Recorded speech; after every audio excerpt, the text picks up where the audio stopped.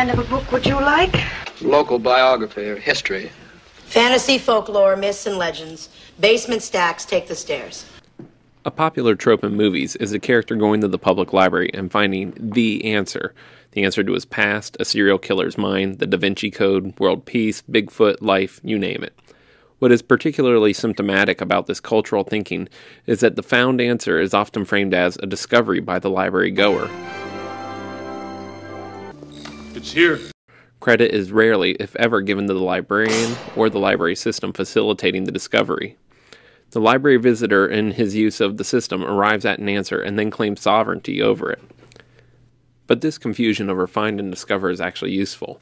The idea of location comes to the forefront when we begin talking about finding and discovering. This sort of language allows us to see there as a discrete object or piece of information that is able to be located because it is written down and stored within a system. I got here uh, auto repair and soap carving. The knowledge resides somewhere. Trade skills and hobbies goes under educational. Stack behind you. The need to have everything in its right place was an ideal Elizabeth Eisenstein points out was shared by the medieval schoolmen and the early capitalists alike.